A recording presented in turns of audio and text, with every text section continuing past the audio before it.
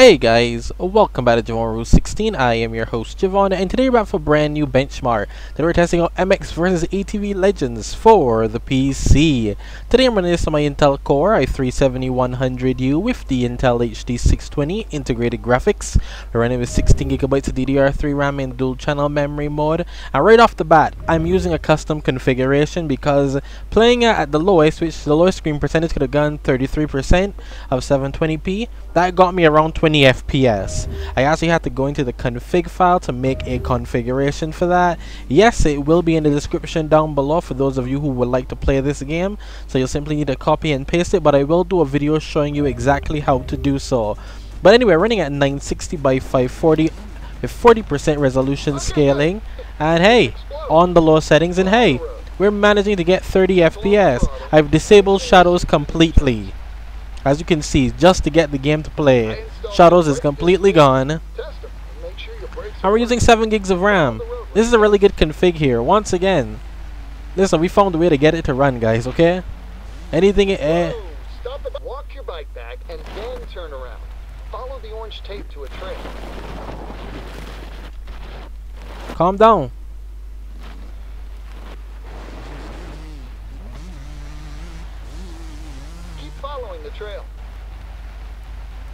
I am. The trail is tight there. Lean into your.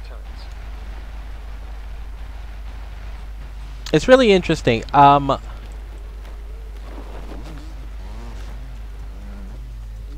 the CPU usage isn't an issue with this game. Um, so this is a very GPU intensive, which I like to be honest with you, because I could have done so much with it to get it running. Between those big rocks by that side. But once again, it really makes you understand, you know? Whenever you fall off your bike, you need to get back on. Let's practice some jumps. Give it full throttle down the hill. Make sure you're landing level with the ground, slightly on your rear wheel going uphill, or on your front wheel when you're coming down a ramp. Hey, I think old man Rollins sees you.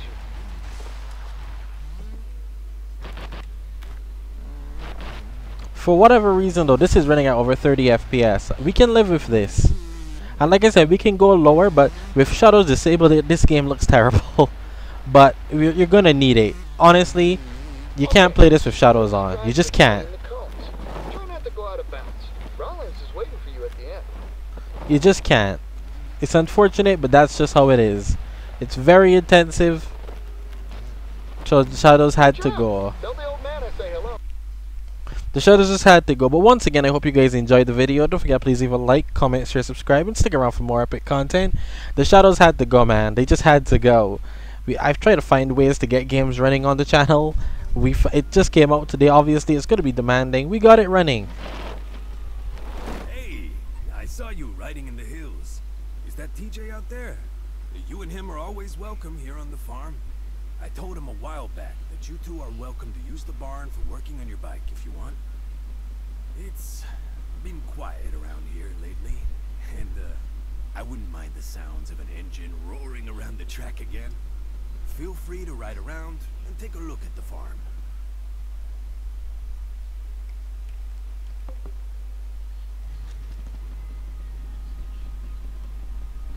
Okay. I guess I will. But I won't like it. Okay. Well, that was a thing. Hey, Rollins said I could sit up here in the barn. Talk to him if you haven't already. Oh, might be fun to hang out here for a while.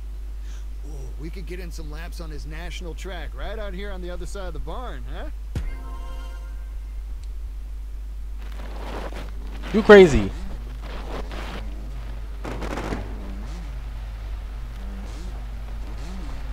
Dude, I've completely made this playable. It's crazy. It's not even dropping below 30 FPS.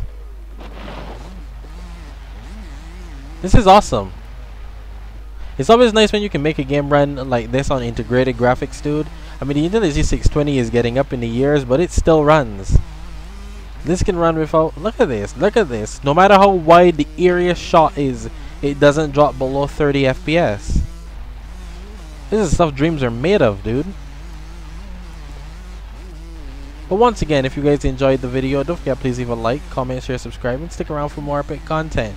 It does take me some time to make these types of videos, man. Oh, we're dropping below now. It's like, nah, bro, how dare you say that you feel like this would run. It ain't, Holmes. It's running really well, though. But at what cost? And how am I going to get it to run any better on the Intel HD 4600 without making it look... Oh my gosh, imagine how it's to look with, at that point.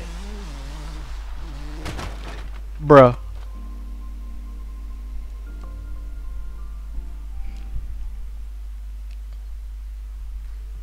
But I'll see you guys next time. I'm just gonna mute myself now. Like I said, we're only using about 7 gigs of RAM, so if somebody with 8 gigs could squeeze it out. It may struggle though, but I would recommend dual channel RAM. Definitely would recommend the Eh, dual channel to get this here playable. Anything lower than that, single, it will cause a lot of stutter. But that's what disabling shadow does.